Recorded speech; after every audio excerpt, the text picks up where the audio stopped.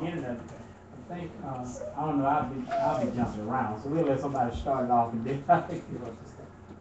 Go ahead. I Brandon. need someone to start us off, Yeah, yeah. go Beginning, ahead what jumped out to me was his reasoning behind the gifts, and that Mm-hmm. even, you know, his followers didn't understand that, but when he reminded them that, you know, you didn't come, you weren't following us all to get material gain out of it. Yeah. And they realized just how heavy that was, and it brought a lot of them to tears, like, you're right, you know, we, we have our reward, you know, it, it's, mm-hmm. for those other people, they were in it solely for the material gain, and yet with that helping with their faith, you know, a lot, a lot, wow, a lot knows, but I think just him reminding his followers, like, you know, we're, we're followers, you have to be reminded why you're in it, you know, and I think that really stood out to me. Mm-hmm. Prophet At the Muhammad, beginning, sallallahu alaihi wasallam, Prophet Muhammad's generosity confirmed that it was all about bringing people to Allah. Mm-hmm. And I think that as time went on, this is what really touched the hearts of even those who initially went after doing, you know, the, the things. And I think one of the things that really strikes me about this chapter is the fact that these were former enemies, and it says old foes, right? These are people who never would have expected the prophet to treat them in a nice way even. To ever have expected that the prophet would give them something that was of value after what they had done to him prior. Not just him, but so many of the companions, and I know you know a lot of their names. We, we have to remember that one of the best things, and one of the things that allows a person's heart to open up is an act of generosity. Even a smile, which is charity, okay? Even a smile, I've seen so many people that just look at me like this and I smile at them, they have no choice but to smile back because it's the South, they have to fake it, you know? I'll tell you something. So they fake it, and then after that, oh, hi, my name, and they introduce themselves. All of a sudden, they're willing to talk to me, and that's a beauty. And there's one of the things that struck me about Prophet Muhammad Well, Sallallahu Alaihi Wasallam. Yes. even in the beginning, when, when the brother was saying about the generosity, even, uh, in the beginning of the chapter, when he, when he released the, the, uh, the, when, when he, the way he did to release the slaves, how, uh, how diplomat, how he did it, how political he was on, on getting by, when he said that I give my shares, and how, and, you know, But he chose not to do it in secret this right, time. he brought it up. In the prior chapters, he brought did it it in secret, where he in- said whatever was mi- was mine is now given back, and he- right? Right, and then he. The way he did it out public. And even when the brother said that he didn't wanna do it, he didn't wanna do it, he wanted to keep his, hmm You know, he, he was not saying that he was a bad Muslim, He but stayed he, quiet and he right. gave him his rights. right, he, he,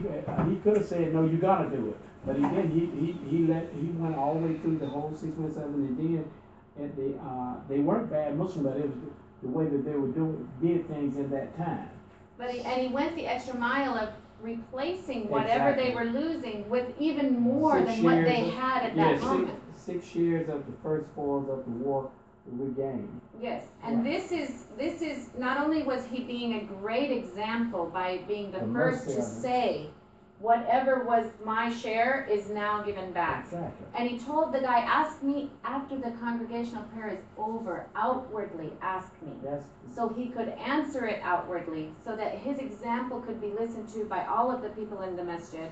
And all of the people who were not just the leaders of the people, but the followers of the people. The tribe themselves were saying, we're not going with our leader, we disagree with him. Whatever was ours is the prophet's, and whatever his share was, he was giving back. Mhm. Therefore, it- it all went back.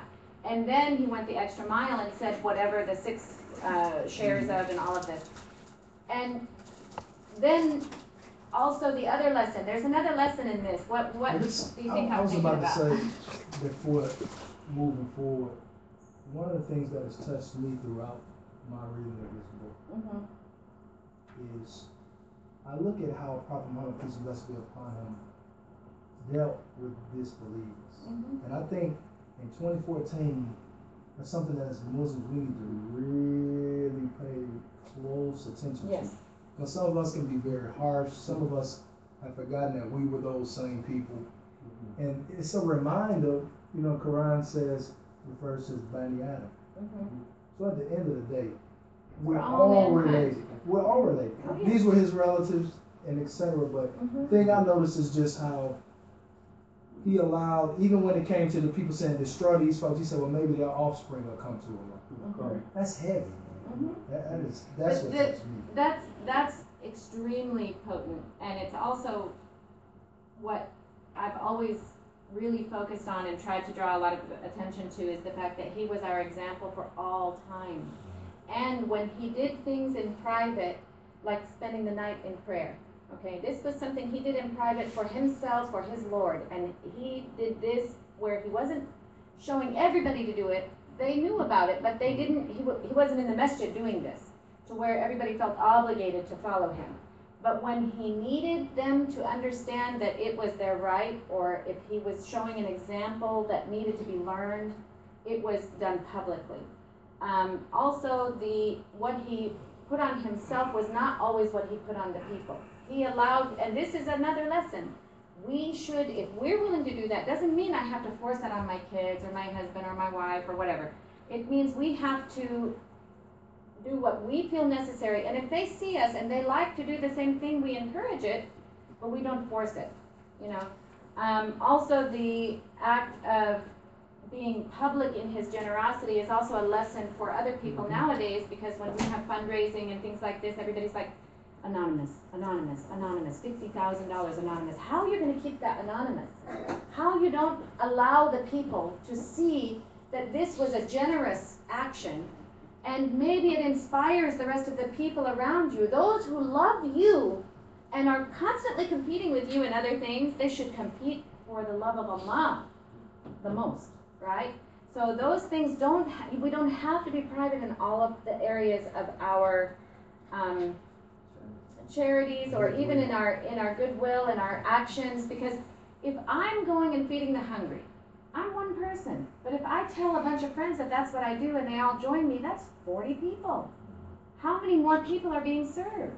But You know? can, in, in some instances in our society, you can understand those who do, Definitely. because some people, oh, you're just doing that because you got a lot of money, oh, you And just-" that's more reward for that person, because anyone who's putting on you what's not true, you receive Receive their reward for that, and they take their sin, you I'm know? not worried about someone But- else talking about it about me. I'm worried about my own intention. That, You that know, interferes somewhere in my heart, am I Yeah. kind of happy they think I'm such a great person, Yeah. even though it wasn't my intention. You wanna should I keep your listen intentions pure, yeah. Yeah. Okay, what about the, yeah, go ahead. Another issue which is um, the concept of justice um, Yes. is, is, is, is very interesting here because so the Prophet ﷺ, um, he gave a law to, to a small group of people um, Yes, but, and he did not give to the others. So, so the concept of justice is not equal in everything. exactly. It, it's, it's a much more concept, uh, it's a much more complex concept that, that we have to keep in mind. And I, I wouldn't say they were, we don't know about them, if they are good or bad people or stuff like that. They were just new to Islam and they, It opens uh, the heart. and, and, yeah, and, and it, it's, it's a, um, one way to bring them deeper into Islam. Or to love you, because when Yeah. you do something for somebody, their connection to you is gonna be a little bit stronger and a little bit more bonded, you know? Um, and that's one of the things that I do with new Muslims when uh, we have new Muslims that enter Islam, and that's why I asked for the brother invol- brother's involvement and stuff. Because each of us need to be able to build a bond with somebody else so that we can continue growing stronger and have that support system. Well, this is the same thing, and Prophet Muhammad wasallam was building a bond with them so that when the Ansar and the Muhajirin loved him regardless what was going on. They supported him no matter what was going on. They came to him when he had nothing, when he didn't even, when he was running, in other words. He didn't even have status at that time. And they were still with him because he was the Prophet of Allah, not for any other reason. Now you're past that mark. You're past that point of no need this, yeah. sincere love, and it's real and pure, and there's nothing going to interfere between you. At this point, you've got, you've started gaining status, you've started gaining spoils, you've started gaining, um, what do you call it, um, achievements and, and, you know, higher quality of living, everything is better. Though the Prophet Muhammad sallallahu alaihi wasallam still lived very humbly and, and, and simply. But what the people were like, that's the best companion to, everybody thought they were the best companion, right? because he, he interacted with each one individually with that technique. He didn't, he didn't say Abu Bakr is my favorite. It's implied, but he didn't say it, you know? But all of them said, no, I'm his favorite.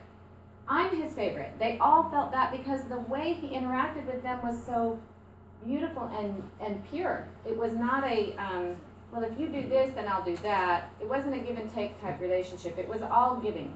And they took and they took and they took and they supported on the other side. They didn't, what can they give back to him except support, honestly? Um, But it's, one, one thing I wanna say here, when the people, because we are human beings, just like the Ansar and the Muhajirin, where you have forgotten us who did so much with you and we supported you and we were there through the thick and the thin and we went through so much and you forgot us? We're human beings. We will feel that sometimes. Mm-hmm. What this lesson teaches is I don't have to remember you. Allah remembers you. And I didn't need to forget you because what you did gained more than what anybody else will ever get in this life. The people of Badr, the people who went to Badr, were forgiven for their sins of the past and the future. And What more do you want that, from like, that? He was almost surprised You by know? like, I I thought you understood this. Yeah, like Yeah. I Don't we were clear. weren't we on the right page? You know, come on, remember, this is, you have a status with Allah that no one is comparable to. But it's a reminder for us. It as is a reminder. We have to be reminded even in the daily. And to look ourselves, and to look ourselves at what we are thinking, because sometimes we get in our own heads, and it's a dangerous place to be. And I always tell everybody, if you're in your head, get out. It's dangerous. Flashing sign, danger, danger. Get out of your head because just because the person didn't recognize you publicly. I mean, I was watching, uh, what was it, uh, The View, and this woman was up there saying I was on the academies, and I went to the restroom prior to the show, and you know, I, I was up there and I introduced people and everything, but I didn't recognize um, Versace in the back. And he made me go in the bathroom and take off the dress and the shoes and the necklace and the purse and everything because I didn't recognize him when he passed me in the hallway. So I went out and I got, who was it? Um, somebody else, a, different, I don't even care about designer. But I, I put on, no, it was Versace that she changed into and the other one was, um, another one. Doesn't But matter. anyway, It- The jerk, we'll call it the The jerk. We'll call it the jerk. but his arrogance was so strong that how come you didn't recognize me? Take everything that you're wearing of mine off. We better have a gun. And she said, and then I went out there in the in the other one and I thanked him right away. but it's it's something that we ourselves should not be seeking public recognition. We should be seeking the recognition of Allah. And we should be pleased with our action and our sincerity and, and keeping that pure. If somebody recognizes me, I get nervous. I really do. I'm like, oh, don't, don't say things, you know, and I get shy and I turn redder than I usually am, and I, you know, I turn, But you know I get really nervous and, and upset about that because I, then at that point, I start to worry, where's my arrogance gonna go? You know, I have an ego, everyone does. A lot of the celebrities, if you listen to them, they hate their public lives because they, they don't have them. Mhm. It's like if you and I make a mistake, it's like nobody knows. But if you're very, very, very, very popular, You don't have to fight. everybody knows the mistake you made. None. Right. And so a lot of them, they- they're not happy at all. And, and, and then, you know, it was, he gave, those were the people from Quraysh where he didn't go back with them, they went to home. The only thing they have as a souvenir from the Prophet are, sallallahu alaihi wasallam, are, are the get, are the gifts. Whereas the others, he's going with them. So, the so I'm they, your they did gift, get is a what he better said. deal. and- Yes. and- and Isn't so- this the part where he tells them he will most definitely go back with them? And was it Right, this 'cause chapter? they were worried that he was He's gonna gonna stay in Mecca, yeah. Right. Which would have made sense to a lot of people that he would go back and, cause But he he, thought that because that was his people and he loved his Yeah. people. It's on Right. page six seventy-one, and it says, now that God has given my messen, his messenger his own land and his own city, do you think that he will settle here? And this is from the Muhajirin and the, the Ansar. At that moment, the Prophet sallallahu alaihi wasallam was praying to God at the top of the hill of El Safa. Um, when he had finished his prayers, he asked the Ansar what they had said, because, you know, you're praying, but you still hear things, and doesn't sound right, so you, you catch it, right? Somebody's talking about Um, at first, they would not tell him, when he insisted they expressed their fears that Hmm. far be it from me that he may stay in Mecca. Now he's got his people, they all accept him now, so will he stay here? And he says, Far be it from me, my life is with you, and my death will be among you. So this is the gift of personal interaction and example. When you're being trained on a job, okay, and your boss, who's the CEO, okay, he's training you, he's doing step by step by step, or he trains somebody who trains somebody who trains somebody who trains somebody who trains somebody who trains somebody, and all along this chain, there's steps being left out. You're not getting the same quality of training with the chain as you are from the CEO who wants it done this way. And you're going to prosper if you do it this way. But if you do it this way through all the chain, you're missing like major important things, right? This is what Prophet Muhammad Sallallahu Alaihi Wasallam gave to the Muhajirin and the Ansar.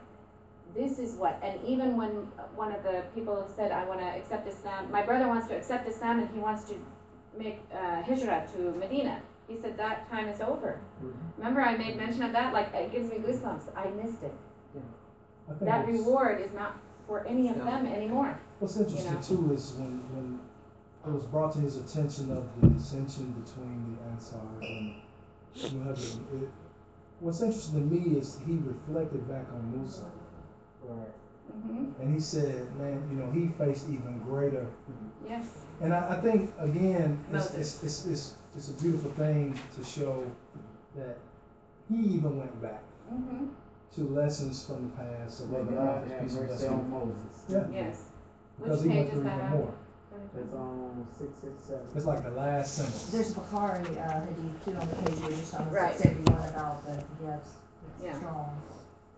And yeah, I was gonna read that. I, I had it all ready to I read. thought you did. Um, Al-Bukhari relates on the authority of Amr ibn Tha- Tha- Taghlib. Tha- Taghlib? Taghlib. Uh, the prophet made large gifts to some people while denying others. Some of them felt aggrieved. He said, I give out gifts to certain people because I fear that they may be shaken. Others I trust to what God has placed in their hearts of goodness and riches. Among the latter is Amr ibn Taghlib. Amr comments, I would not exchange the prophet's statement for the world. To feel that strongly about a statement and to know your your quality of your actions has been recognized by the Prophet Muhammad Sallallahu Alaihi Wasallam, by Allah, and to know it. Don't you know? We pray and we say, "Inshallah, Allah will accept my prayer." And yes, uh, Allah will accept my prayer because I'm praying. Okay. Are we still wondering, did I do it right? Did I get all of it right? Did I did I forget something? I wasn't paying. I didn't have total concentration. You start wondering what all did you were you deficient in. But to be told you have no deficiency with Allah or with His Prophet, how blessed is this person? And how much do how could they ever want a materialistic thing after that? Doesn't mean we shouldn't drive a nice car if we can afford it. Doesn't mean we shouldn't buy nice clothes because we can afford it. Doesn't mean any of that. Even to allow yourself luxuries of life is not wrong. But to make sure that your emphasis is on the quality of your actions and the goodness that you do, there's your gift and there's your security in life. Because you're not secure in life any other way. Without, and all of the people who are still searching, and even Muslims who don't get it. Okay, I've, I've known lifelong Muslims that just don't get it. My husband was referring to people, women who will go out with all this makeup and all of this stuff. I don't have the need to show my beauty to other people so they can tell me how beautiful I am. I'm not stupid. You know, I don't need this self, I don't need this acceptance of other people. I accept who, what I look like. My husband tells me I'm the most beautiful. Lying, not lying, I don't care as long as I'm, you know, as long as, Take that to heart. as Emma. long as my husband looks at me and is convincing through his words, we're good. You know, You And tell me I- Halle Berry's not all that, I'm good. I'm good with that. I can handle it. We don't, we don't, you know, we can accept our situation because that's what Allah has given us. And to be able to accept that takes effort. It is not a simple just, okay, God gave me this, so I handle it. No. And it's also, remember the two people who died in the tornado just recently in Kimberly, I believe? Um, they chose not to go to the shelter. What have I said a million times over? Don't stand on the train tracks while a train is coming and say, inshallah, it won't hit me. You run, you protect yourself, you make action to keep yourself safe, right? They chose not to go to the shelter, though they were they were told by the police to go to the shelter. No, we'll ride it out. They died. There's no choice for us in those ways. If we're given a test, we don't wait for it to just be over. We make effort to make it better. We make effort to survive it. We make effort to make it a better life afterward. You can't be passive in your life. If you're passive in your life, you fail. You fail. You have to be aggressive. You have to go after what you know is right, what is true, and you must act on it. You cannot wait till tomorrow because you're not promised tomorrow. You're promised right now. Now, not even the next breath. Right now. Yes, you. The other thing that we need to remember is that the function of everything in life that we have, whether luxury or whatever, and the people that we love, the function of all of that should be to bring us closer to Allah. Yes. And so, so, um, so those were already close to Allah. They did not need those things. Right. Others needed those things to get closer to Tony, can you close that Sahara down? Thank you. That's exactly correct, and that's what the hadith is referring to, that some of you didn't need this enticement. Some of you didn't need to be open because you were already there. And also, those same people, even among the Muhajirin and the Ansar, you did have a few that were not um, completely accepting the situation. That's their right. You know, you, we're not all going to be the same person and perfect in acceptance and all of this. That's sometimes our struggle, our test. And that's our job to make effort to clear that away from our hearts. And the beauty is, Mm-hmm. once they were reminded, even those of the. Ansars and the, Muhammad- once they were reminded, they stepped right back in place. And they were, he, and he says clearly, I would not change, exchange the prophet's statement for the world. If I could get that promise from the Prophet Muhammad Sallallahu Alaihi Wasallam, what would I do? What would I do? You can look at. Imagine, So he yes. saw the bigger You can look picture. at how the people, when he, uh, when he did these gifts, how, how it turned their heart, like when kings do not do make such a gift willingly. Yes. And they was talking about that, how it changed their heart, I mean, they might have been kinda, I'm accepting this because it's what's going on now, but it took something to, to see, uh, his gratitude and how truly you are God's messenger. Yes, You know, uh, you, you didn't care, but any other king would probably not give him anything, everybody's selfish and keep it, but he was giving, yes, he was giving it, it, it, it didn't, it didn't matter to the prophet, It- you know, the wealth wasn't that important to him, but he knew what was greater. And the- Sixty-seven is when they were talking about. and the wisdom in the prophet's actions, we can see it now, but the people at that time were not completely focused on that, they were just, because that was the, that was the culture at the time to, whoever got the most meant that they worked the hardest. They were the most recognized because they were the, the most, doing the most action, so it was a prestige type thing. Right. And they were proud of the spoils they took from wars and, and different, um, endeavors or whatever. They, when they were rewarded, it meant that they did the most. So here I am, and they would be proud. So not always are they looking at the right thing behind the action. But when the Prophet sallallahu alaihi wasallam put the nail on the head, or the hit the nail on the head, immediately they saw it. There's no question, and they backed up. Doesn't mean that they they weren't looking forward to that six shares and you know whatever. They were still looking forward to the, the reward. They were happy with the with the decision at that point. But to give a little to get so much more, this is a huge lesson. It's a That's huge blessing. This, this was, this chapter was, uh, I I know love we this didn't spend- chapter. uh, we I didn't told her spend a read lot it. of It's time good. on it. Oh, no, We I didn't spend a read lot this of time, one. but this chapter was It's really the 38, I chapter didn't that read brought forth Yeah, a we lot of stuff.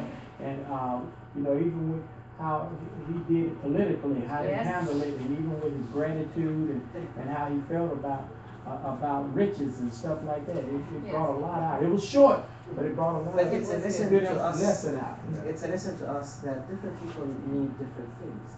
So as we, as we have a relationship with other people, some of them like to have a gift, you know, very much like what you were talking It's about, the love, marriage, you know, yes. the, the marriage. That's what I was gonna relate it to. It's, uh, like some of us want, want that thing, you do want to give it to them, and some of us don't need that, they need something else, they want to Yeah. give that to something else. But it Yeah. also shows, and, and I, just hearing you talk about it, it relates even in our society that a lot of people in our society have a misconception that because the people who have a lot work the hardest.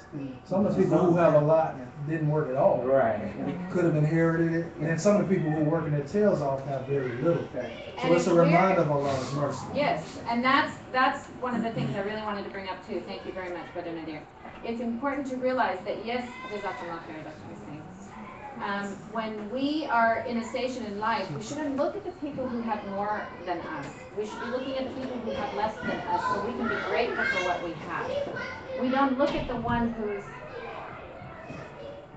That's in my face. Okay. As long as there's not a brawl going on, we're okay. I think they're okay. It's amazing to me. But if we look at the people who have more than us, we will always be wanting more, and we'll never be satisfied with what we have. But if we look at the people who have less than us, we will be thankful, grateful, and satisfied. And yes, you don't just stay happy with what you have. Be happy with what you have and endeavor to get more. There's nothing wrong with that either. Yes. That's a misconception in America, you know, this, uh, When we idea, become this, Muslim, we like all relig- think we have to be humble and, and this religious idea pious that, yeah. and don't don't wear gold and don't do this and don't drive a BMW. Oh my God! Somebody- Drive the the Honda nothing. We were at a wedding one time, it wasn't. We used to have this little tiny like hatchback. We when I was growing up, we had this. It was like a hatchback. It looked like a bug, but it wasn't a bug. It was a Honda somehow, and my sister used to call it by a really bad name. Your mom. Um, it was brown in color. Um, and so we we you know we but we were happy to be in that car because we didn't have to walk. You know. Yeah. so. Like, I heard somebody one time, uh, you know, comment on like, there's a, a sister wearing these, what had to be like thousand dollar shoes. And she recognized them, and I'm thinking, but my, my response was, I really think that she and her husband, they can afford it. So, Nothing I wrong with mean, that if you want to. and, you know, maybe they gave fifty thousand dollars to the school this year, you don't know, I think she Or could take the shoes, if 200,000. she You wants don't want to talk she can, about no, no shoes. But this is the thing. I don't, you know, I In, don't particularly in, wanna and this is $1,000 where I go with that, with that That's statement. her choice. Yes, you can afford the coach purses, you can afford the Uh-oh. shoes, you can afford the glasses, you can afford the gold, you can afford your beautiful new, annually new car and all of this. But make sure that when you're donating, you're not holding on. Yeah. Make sure that when you're donating, you're not thinking, I have to pay my lease next month. You wouldn't have, this money is not yours. This money is Allah's, it belongs to Allah, and you should use it properly. Yes, you can use it on those things, luxury is fine, but make sure that when it, when you have an offer of giving, and I'm telling you this in this way, I am giving you the opportunity to donate. It's not, I want your money. I'm giving you an opportunity to donate means that your reward will be so much more. Yes, buy those beautiful things and do all of that, but in the fundraising dinners, the first thing I say is don't buy the coach purse this month.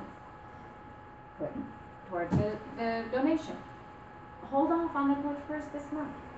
Imagine yourself just paying, I mean, one trip to the mall for some of the ladies and the brothers in the community is over a thousand dollars a month, a, a trip, a trip, and they may go several times a week.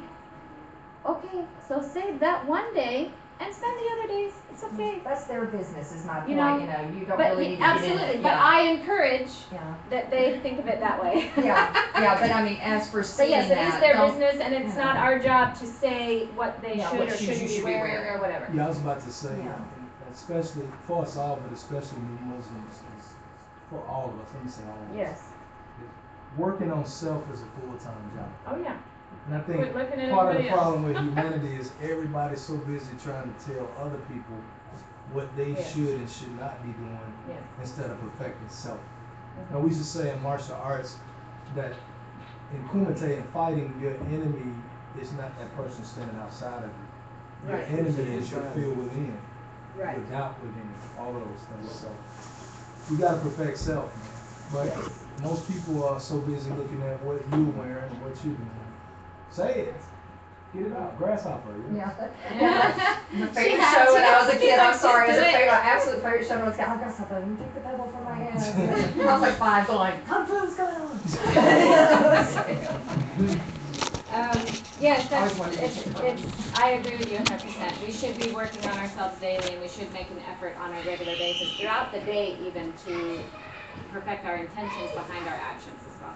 Um, chapter thirty-eight is going to be our next 37. chapter. Is it 38? Thirty-seven. Thirty-eight. Just Was read. that what we, okay. Um, thirty-eight is our next chapter and we will be, uh, It's pretty short, I tell. It's short. yeah, And uh, for all who are interested, um, the book is now available on e-reader. Nothing on. oh, cool. Yeah. And I just spent like three hundred dollars on new books. But I like a book in my hand. It's- I it's- really it's- do, but These that's Alright. classes, I like to take notes It's twenty two dollars on the think you look can at. Okay, twenty-eight So- in hand. I mean, it's just you know Yeah, if you like to read discreetly. I, I'm happy you said something. Discreetly. Discreetly. Well, I mean, yeah. In the airport, I know my son had this in the airport, and I'm like, you know, it's like, don't let the people at the counter see. I, I will be showing mine off as I'm reading my book. Well, my- my I have- thing is, I love don't to have- show. People are like, what are you reading? I'm like, oh, this is a. Once you get past security, it's okay. You Well, you know, you past carry security, you carry everywhere. You know, you Once you gotta get have past that enough screen, room for. you're, you're all right. I We can show agree. it. I We agree. I'm happy you mentioned that because I didn't even look at that. Yeah. But, um, I, we need to discuss really quick before everybody goes out the door. Yes. Um, the summer courses, the summer classes, I sh- I really have a hard time during the summer because my children are home. It's a, it's a time for my family and. I'm going out of the going country, diff- so I can't, yeah. So it's gonna be hard during the summer. The thing that I am offering again this year is the weekly iftars at my house for Ramadan, where we all do a potluck and come and eat at my house and we'll pray the Tarawih prayers, and this is one of the uh, contingencies. Must be there for at least two or four rak'ah Tarawih, because this is a beautiful reward, and it's the Tarawih prayers, the voluntary prayers after Isha prayer, is they are the best of the prayers for the whole year, and they're specially limited to Ramadan. They're not throughout the year. This is specifically done for Ramadan. So we, I really want us to do that. We'll have a small halaqa like we did before, where we did small little, um, like topics, but they were short lessons. Um, I really enjoyed having everybody at my house that last Ramadan. It was really wonderful to have everyone there and just interact with each other on a more social uh, occasion, but at the same time, we were benefiting from each other with the prayer and with the halaqa as well as getting to know one another. Um, I am trying really hard to arrange a trip to Six Flags, and if I can get the tickets free, all we have to worry about is um, gas and carpooling, and food while we're there, probably. I unfortunately have a really hard time doing any other type of a trip because that means I can't take my kids with me and I can't, you know, then I can like no. Um, we need, if we're gonna do an out of town thing, and plus because I'm a female, I have to make sure that I have one of my, you know, uh, mahrams with me. Um, and so we, I'm I'm working on it, no guarantees yet, okay? Summertime, after Ramadan, probably we will not have classes for the remainder of the summer unless I come back and say, we're gonna continue, okay? Before Ramadan, we continue with Continue to this come class. until you're told otherwise. Yes. Go get that, I know where all you of you live. classes. I know where you all live, or I Yeah. can find you. Yeah, we'll get you in Ramadan. Um, Cause I know you'll show up for the food. But we do, we will be having, um, on the Eid, like we did the IHOP last time, inshallah, we'll, we'll be doing that again, inshallah. Um, it will probably not be the day of Eid, because that's the day I spend with my family. If anybody wanted to join us, you're more than welcome, but I've got to do my family time with my family. Um, but one of the following Sundays or whatever, we will probably all be meeting for breakfast or something to share the occasion, inshallah. We don't have any really new Muslims in here today Not anyway, today. yeah, so, uh, it's gonna be more of an issue for those guys that we're not having a class, and that worries me. So if you have some kind of solution to this, If somebody can to offer us. for someone to spend the night at their house for that one evening or something, and it's, you know, all the brothers are probably out on this one because it's all women, I think. This is where we um, really miss Brother Khalil, cause he Yes. took over the summertime stuff, he had the ability He to. kept it going with lots of different activities. Yeah. Um, but if we can try to offer someone to stay with us through just the one evening of that week so that they won't have to drive back late at night so far from, But uh, if they come, if they come to break fast in the evening time, we'll still have that unity, we can just promote that and push everybody to try to come. At If they can make it in If the they can make it, but even if they can say, wi- within that week, you know, hopefully they can make it at least one day. Yes, And then we can try to group up and talk a little bit and just keep it going, just group up a little bit. Good. Before we, before we go in and make the prayer, we can Perfect. just, or after the prayer, when every, when everybody playing, we can group up a few seconds and talk. and just, yes, You know, just to keep it tight. yes, I agree with you, and I hope that we can, we can all encourage each other to, to work on that. I don't wanna see anybody lost out and then they're out of the habit of coming to class and so they quit coming. Um, the core of our class has changed many times over. The beginning of my class, when I first started, were three or four sisters. Then it included a couple of brothers, none of whom are still in our class. Either they graduate themselves out or they become, um, busy with different, uh, schedules and things like that. I'm okay with the constantly changing core of our class because that's what new Muslims classes are about. Is when, and I, like I said, I'll hang on to you as long as I feel like you need that support. The minute you start pulling back, I'm gonna let go with a sticker on your back that says, don't mess with my peeps. You know, the one that says kick me, I put don't mess with my people. Um, but I have to give you your space when you start pulling back from me. And if you, if you need me to chase you, you better keep chasing me. That's how I feel about that. I, I read your signals as far as what you need from me. Well, And- uh, close, do you have a question? I'm not, it was just like one, one thing. After Isha, you said, Tarawih prayers. Tarawih prayers are sunnah prayers. They're prayed uh, in two, two, two, two, two. And usually they read one third of the, not one third. No, one, uh, one part. part of the Quran each night. And this is throughout Ramadan, you'll find this mas- masjid and the Homewood Masjid for sure, and maybe the West Side Masjid, I'm not quite sure anymore. Is it the West Side? They do. West Side. They also have Tarawih prayers that they will finish a whole par- part of the Quran in that prayer. Um, and it's usually eight rak'ah that they'll pray, Yeah. but throughout those rak'ah, the chapters are long chapters and they read all the way to finish the whole part. Mm-hmm. Um, You know, the Some Quran's days it's divided in thirty parts, right? Yeah, and that goes with a part each night of Ramadan. And so that's 30 nights of Ramadan. Mm-hmm. It starts the night prior to our mm-hmm. fasting. You know, everything's done by the lunar cycle, right? We, we go by the lunar. So if Sunday. Ramadan, if we're fasting Monday, they start Tarawih Sunday. night Sunday night, yeah, after after Isha. Isha. And just like Eid, we sight the moon, if it's Friday, we sight it Thursday night. And they start takbirat, Allahu Akbar, Allahu Akbar, You know what we need, Akbar. Miriam, for the La very ilaha new. Muslims? We need, a lot of you guys know the ropes in this room for the most part, but we need, uh, we need one class on just a crash course in Ramadan and fasting. We One- will be One doing class. that. We I don't think Yeah, we need to do it on. Sunday morning because most of you guys know the drill, but Well, we we do, we or will do- do it, maybe and that after way one it can be recorded as well. Yeah. And we Oh, will do it good. because I'm telling you, I learn something new every time I That's do true. that lesson. I forget we're recording. Every time I give that lesson, I learn new things. Yeah. I remember you So- saying, I remember you saying you were gonna do that a few Yes. months back when it first came up, everybody Yes. was talking. Yeah, about everybody it. And that's gonna go to different, Right, I'm yeah. gonna try to bring a doctor who can talk about how to adjust your medications if you have to take medications throughout the day or whatever. I'm gonna also be asking fiqh, uh, a sheikh to ask, so that you can ask specific questions on the jurisprudence of ins and outs of, of fasting as well. Like, uh, Some people. something may come up that I've never fast. even thought of, but it's your situation and you need to know, you know? Um, one, one of the, one of my students was, uh, all the way through Ramadan. We get to the, like, the last ten days and they were talking about, it's been so hard not to chew gum in a day and, and the guy, listen, you can't chew gum? He's been chewing gum all oh, Ramadan, you know, all day long, you know? That's what we You need can't to chew gum.